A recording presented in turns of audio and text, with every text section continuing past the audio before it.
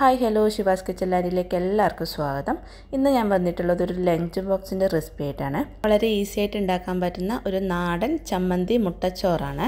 മടിയുള്ള ദിവസങ്ങളിൽ ഉണ്ടാക്കാൻ പറ്റുന്നതും അതുപോലെ തന്നെ കുട്ടികൾക്ക് സ്കൂളിലേക്കൊക്കെ കൊടുത്തുവിടാൻ പറ്റുന്ന നല്ലൊരു റെസിപ്പിയാണ്. അപ്പോൾ നമുക്ക് എങ്ങനെയാണ് ഉണ്ടാക്കുന്നത് നോക്കാം.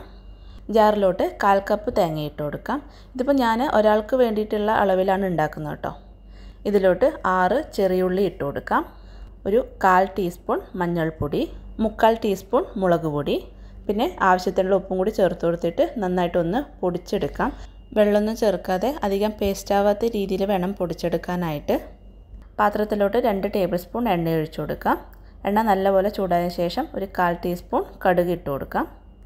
കടുക് ഇവിടെ നന്നായിട്ട് പൊട്ടി വന്നിട്ടുണ്ട്. ഇതിലോട്ട് ഒരു സവോളയുടെ പകുതി ചെറുതായിട്ട് അരിഞ്ഞത് ഇട്ട് കൊടുക്കാം.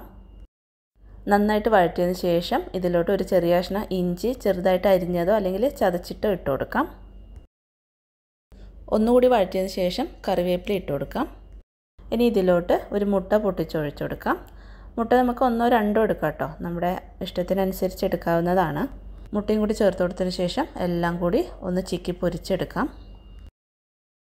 അതിനുശേഷം ഇതിലോട്ട് നേരത്തെ അരച്ച് വെച്ച ചമ്മന്തി ചേർത്ത് കൊടുക്കാം.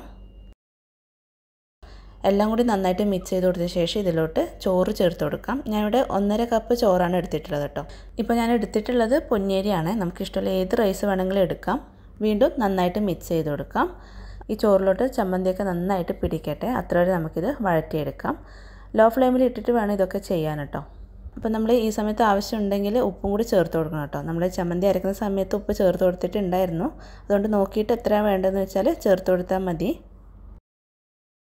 ഞാനിവിടെ നന്നായിട്ട് മിക്സ് ചെയ്ത് കൊടുത്തിട്ടുണ്ട്. ചോറിലോട്ട് നല്ലപോലെ മസാലയ്ക്ക് പിടിച്ചിട്ടുണ്ട്. ഇനി നമുക്ക് ലാസ്റ്റായിട്ട് ഇതിന്റെ മുകളിലായിട്ട് കുറച്ച് മല്ലിയിലയും കൂടി ഇട്ട് കൊടുക്കാം. ഇനി പുളി ആവശ്യമുള്ളവർക്ക് ഈ സമയത്ത് കുറച്ച് ചെറുനാരങ്ങ നീരും കൂടി ചേർത്ത് കൊടുക്കാം കേട്ടോ. അതിനുശേഷം നമുക്ക് ഫ്ലെയിം ഓഫ് ചെയ്ത് കൊടുക്കാം.